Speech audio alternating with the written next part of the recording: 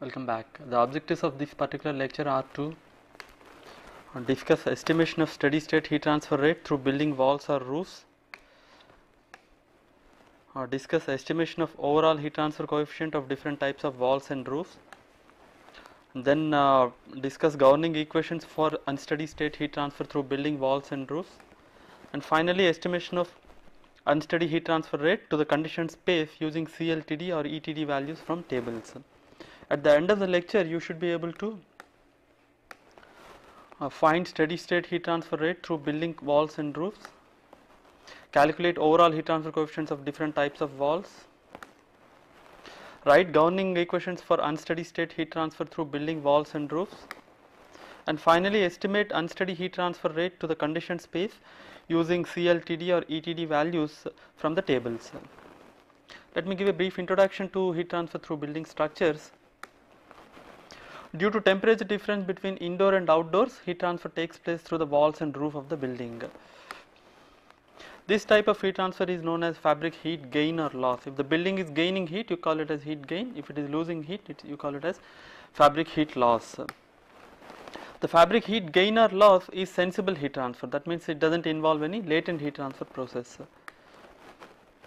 And the exact analysis of buildings to estimate fabric heat transfer is very complicated because of the fact that uh, the outdoor and indoor conditions change continuously and buildings are of diverse shape and orientation and a wide variety of materials are used in construction. So, because of these factors exact analysis of buildings is very difficult. First let us look at uh, one dimensional steady state heat transfer through buildings. Heat transfer through the building is assumed to be steady if the indoor and outdoor conditions do not vary with time.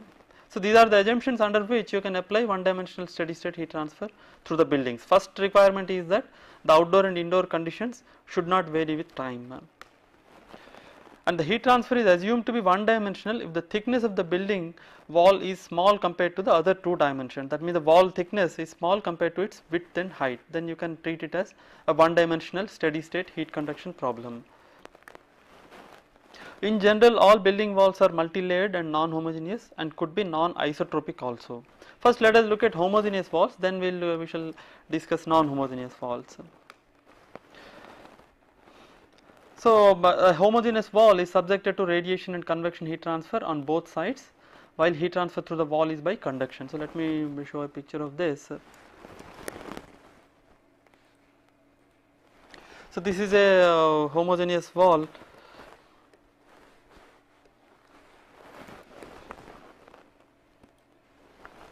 okay this is the wall and uh, these are the outdoors and uh, this is the indoors and uh, just for an example let us assume that the outdoor temperature T naught is greater than indoor temperature Ti okay uh, and you have outdoor surface I mean the outer surface of the wall is subjected to radiation heat transfer and it is also subjected to convective heat transfer. So, heat transfer takes place from the outdoor to the outer surface of the wall by radiation and by convection.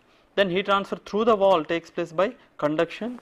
Then heat transfer from the wall to the indoors from the inner surface of the wall takes place again by radiation and by convection. Okay.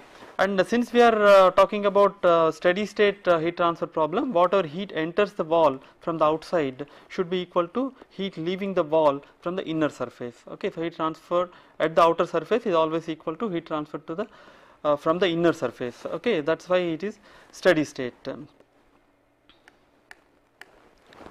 Now the heat transfer rate per unit area of the wall under steady state is given by Q subscript in is equal to Q subscript CO plus Q subscript RO which is equal to Q subscript CI plus Q subscript RI. What is Q subscript CO? Q subscript CO is nothing but the convective heat transfer from the outdoor air to the outer surface of the wall and Q subscript RO is the the radiative heat transfer from the outer surface uh, to, to, the outer surface and QCI is a convective heat transfer from the inner surface to the conditioned space and QRI is the radiant heat transfer from the inner inner surface to the conditioned space.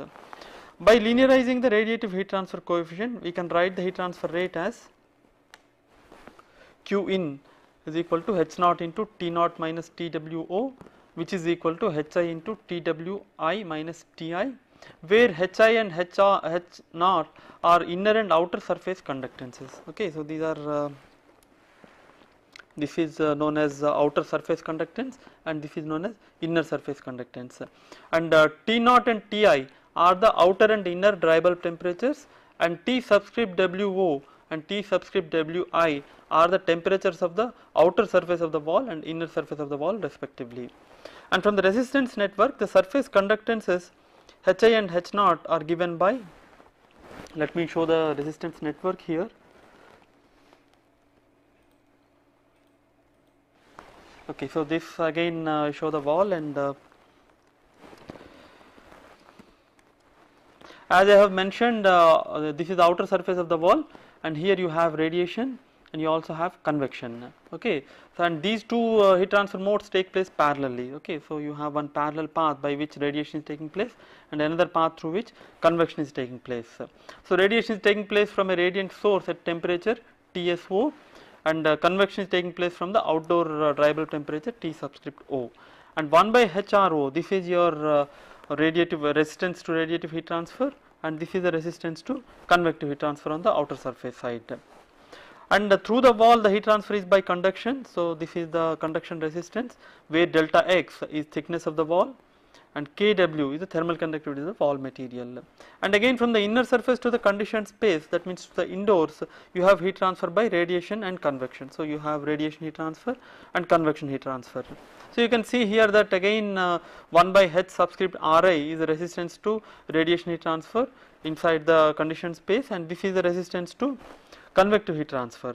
Okay, so now we can write an equivalent uh, circuit by combining these two parallel resistances into a single resistance 1 by H naught and similarly for the inside surface side we can combine these two resistances into a single resistance 1 by Hi. So this H naught and Hi are the equivalent resistances which consider both radiation as well as uh, convection heat transfer on the outer surface side as well as on the inner surface side. So you can easily show the, from the network that H subscript I that is the uh, inner uh, surface conductance is equal to H subscript Ci plus H subscript Ri into Twi minus Tsi divided by Twi minus Ti okay. Where as I said this is your inner convective heat transfer coefficient. This is the inner linearized radiative heat transfer coefficient. This is the temperature of the wall on the inner side. And this is the or of temperature of the conditioned space surface temperature of the conditioned space. Okay so this is the dry bulb temperature of the conditioned space. Similarly for the outside uh, surface conductance you can write an equation of which is of the similar form. And you can see here that if uh, for example if the inside surface temperature is same as the inside dry bulb temperature then hi is simply equal to hci plus hri Similarly for the outside, if the outside surface temperature T subscript SO is equal to outdoor dry bulb temperature, then you will find that H naught is equal to simply HCO plus HRO. Assuming inside air to be still, normally in the conditioned space we have to maintain uh, very low temperatures, uh, very low uh, air velocities to avoid the problem of draft. So typically the air velocities are of the order of 0.15 to about 0.25 meter per second. So for all practical purposes you can treat air inside a conditioned space to be still air. So if the air is still air then the heat transfer between the air and uh, the surface will be because of natural convection. Okay, so if you want to estimate the convective heat transfer coefficient in the condition inside the conditioned space, you have to apply suitable natural convective heat transfer correlations. Okay, a simple correlation is given here. For example, H subscript Ci is the uh, natural convection heat transfer coefficient inside the conditioned space. This is equal to 1.42 multiplied by delta T by L to the power of 1 by 4 where delta T is the temperature difference between the surface and the air and L is the length or height of the surface. Okay, so this is uh, generally valid uh, for atmospheric air okay. So if you know the surface temperature and the air temperature and the dimensions of the wall you can calculate the heat transfer coefficient. And as far as uh, the outside heat transfer coefficient is concerned, normally due to wind speed, the heat transfer from the outside air to the outer surface of the wall is by force convection. Okay, so one hence one has to use suitable force convection heat transfer co correlations to estimate HCO Okay, so you have to use um, uh, if it is a horizontal wall, then you have to use force convection heat transfer coefficient for flow over a horizontal wall like that. And the linearized radiative heat transfer coefficient HR is calculated from the equation. This we have discussed while discussing fundamentals of heat transfer. The linearized heat transfer coefficient HR. Okay, so this is equal given by this expression where T1 and T2 are the two surface temperatures between which radiation heat transfer is taking place and epsilon is the absorptivity of the wall and uh, this uh, sigma is the Stefan Boltzmann constant right? And the temperature should be in absolute scale okay? And typical values of inner and outer surface conductances have been estimated for different conditions of air motion direction of heat transfer orientation of the surface and emissivity of the surface. Let me show you some typical values. Okay, so this uh, table shows as I said surface conductance values in watt per meter square Kelvin for different orientations, okay, uh, different air velocities and surface emissivity. For example, take this, this uh, orientation of the surface is horizontal and the air velocity is still air that means you have to you can apply this the still air condition to the conditioned space inside the uh, building okay? And if the direction of the heat flow is upwards and if the surface emissivity is 0.9 then the heat transfer coefficient is 9.4 watt per meter square kelvin. If the surface emissivity is 0.7 then heat transfer coefficient is 5.2 watt per meter square kelvin. And if the emissivity is 0.5 this is the heat transfer coefficient. What do you mean by horizontal and direction of heat flow is up? You have a wall like this, okay, this is a horizontal wall, right, and you have air here. And the direction of heat transfer is upward, that means heat transfer is taking place from the air to the wall in this direction, okay, where the gravity is in this direction. Okay, for this condition, you can uh, take these values, and as I said, uh, epsilon is the emissivity of this surface. Okay, and for the next condition, again you have the still air and the direction of heat flow is downwards that means you have again the wall okay and let us say that air is here and heat transfer is taking place from the wall to the air okay in this direction. Okay and g is acting in this direction in downwards direction. Again for different values of surface emissivity you have the values of heat transfer coefficient okay. Next comes uh, vertical wall and still air. That means you have a vertical wall like this okay and you have air.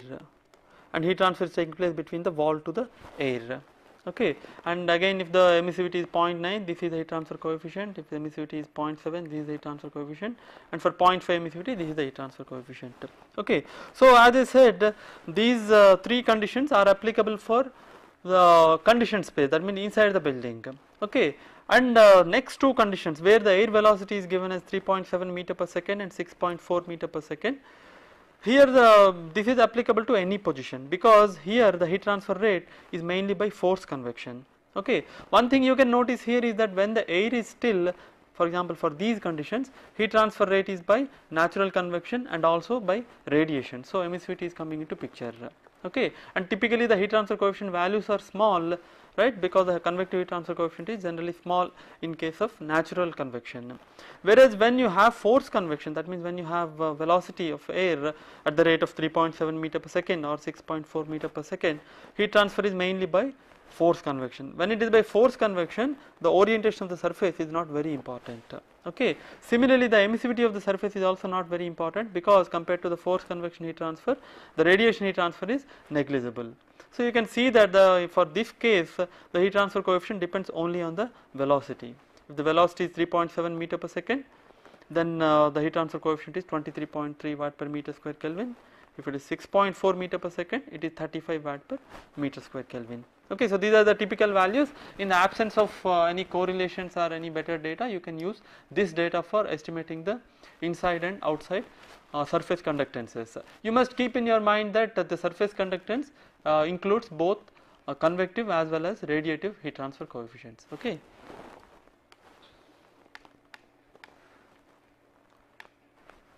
Now you can eliminate the surface temperature of the wall that means T subscript Wi and uh, T subscript Wo and write the steady state heat transfer equation in this form uh, using the overall heat transfer coefficient U. Okay, if you are using overall heat transfer coefficient u, you can write the steady state heat transfer uh, rate per unit area. This is heat flux basically watt per meter square. That is equal to overall heat transfer coefficient multiplied by the temperature difference between the outdoor air and indoor air. Okay, T naught minus Ti. So u is nothing but 1 by total resistance, right? So this is nothing but uh, all the resistances are summed up. Okay, and the inverse of the resistances is your uh, overall heat transfer coefficient. Okay, and uh, we have seen that the expression for overall heat transfer coefficient for this homogeneous wall is given by this.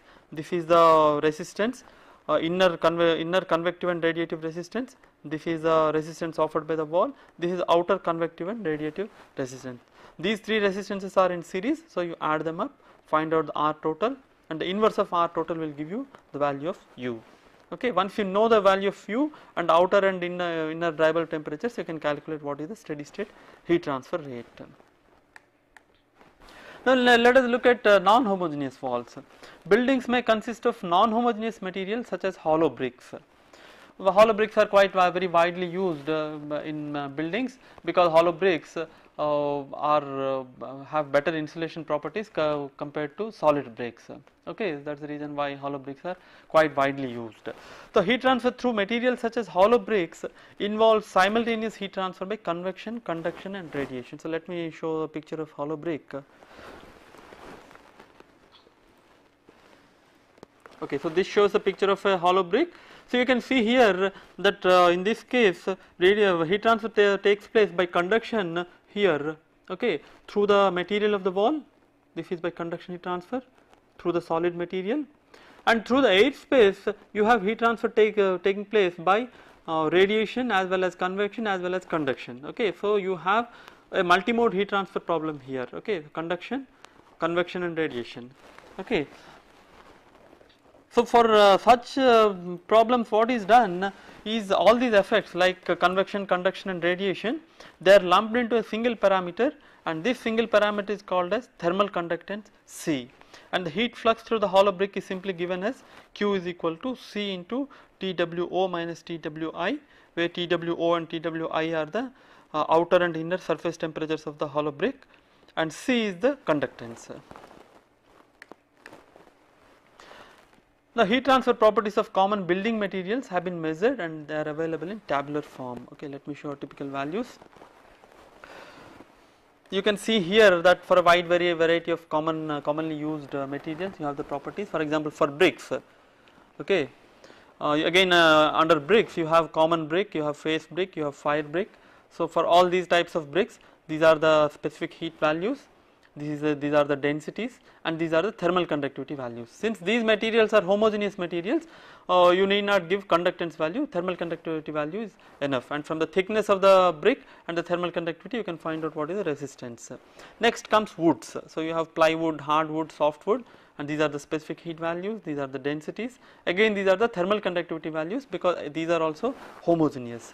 When it comes to hollow clay tiles, are hollow concrete blocks. The thermal conductivity values are not given because here the heat transfer rate as I have discussed just now is by multimode convection, conduction and radiation. So, for these uh, materials the conductance values are given. These values are generally obtained from experimental measurements. So, for different types of for example hollow concrete block of 10 centimeter thick this is your conductance value for 20 centimeter thick this is a conductance value for 30 centimeter that is the conductance value.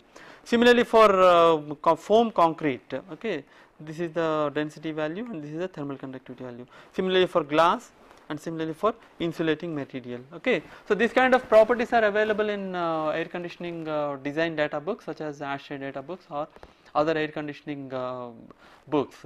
So looking at the tables you can take the properties uh, like specific heat density, thermal conductivity or conductance and you can calculate. If for example if you are calculating the overall heat transfer coefficient then you can use the either the conductance value or the thermal conductivity and thickness and you can find out what is the overall heat transfer coefficient. And from the overall heat transfer coefficient and the temperature difference you can find out what is the heat flux through the wall. Okay Now let us look at air spaces. What is air space?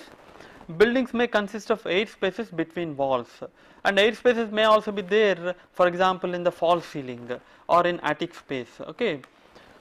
And since air is a bad conductor of heat, the air space provides effective insulation against heat transfer. So, this is one of the reasons why air spaces are used in buildings. Okay, It provides uh, good insulation against heat transfer, so the load on the building gets reduced.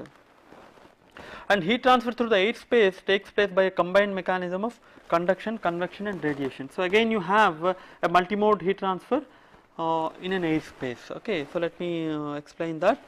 So, you have this is uh, a wall and this is a wall and in between these two walls you have the air space. Okay, so this is the air space. Let us say that uh, this surface is at a temperature T1 and this surface is at temperature